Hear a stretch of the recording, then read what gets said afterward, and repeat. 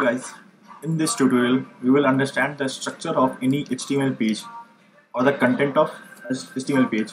Any HTML page starts with a tag HTML and all the contents of HTML page is placed inside the HTML tag.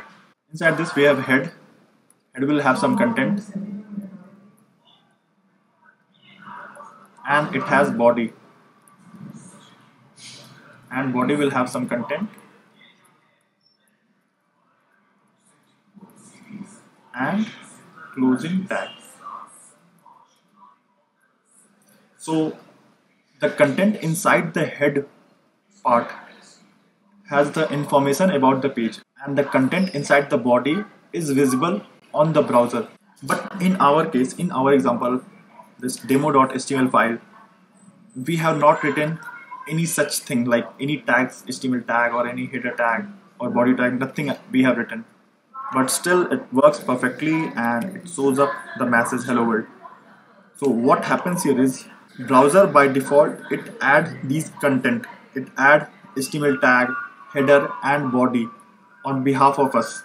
And all the content that we have written in the html file it assumes that this content is written inside the body body of html. So we can quickly check that by clicking right clicking on this page on the browser and we go to the element option. And here we can see you can see that it has a HTML it has a head content and it has, a body. And inside the body whatever we have written is there.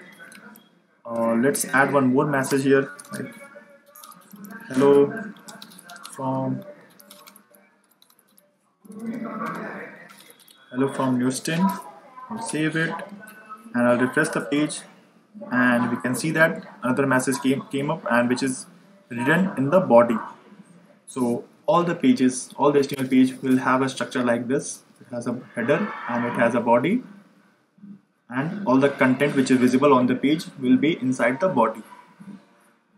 If we don't add these things so browser will assume that all the content that we have written is a part of body and accordingly it shows up the content